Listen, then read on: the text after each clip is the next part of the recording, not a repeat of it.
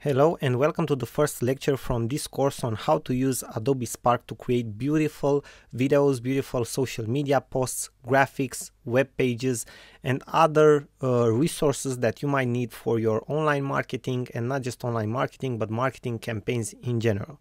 Now first things first let's start with the beginning. The platform that we are going to learn about today it's called Adobe Spark. It's part of the Adobe group, which uh, you probably already know because uh, they have so many uh, very useful softwares out there like Adobe Photoshop, Illustrator, uh, Premiere, and many others. So the address where you have to go, because this is a cloud-based platform, is spark.adobe.com. Okay, so as you can see here in the browser, spark.adobe.com.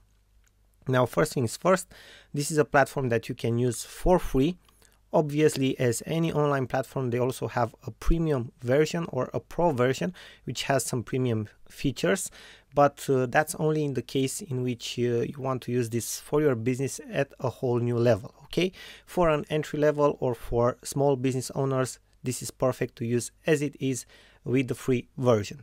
Now, how do you create an account? As you can see on my page right now, in the right top corner, of the menu you have an option which says login or an option which says start now for free.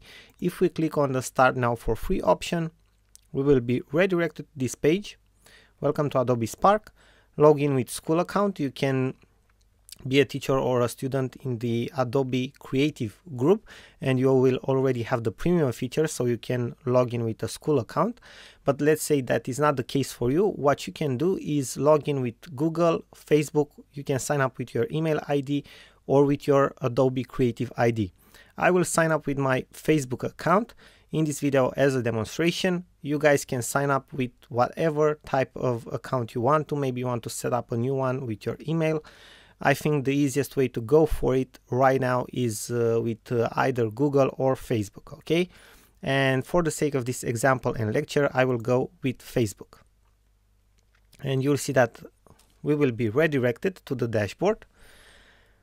And this is how my dashboard looks at the moment. We have already some projects here because in your dashboard you can see your projects. Every new, let's say, type of uh, resource that you create, graphic, video or web page, it's called a project. After you create it and save it and download it or use it, it will be saved here in this section which is called projects and you can uh, edit your projects in the future. Now more about the dashboard in our next lecture. Uh, you have seen how to create your account for free and we are looking forward to see you in our next lecture.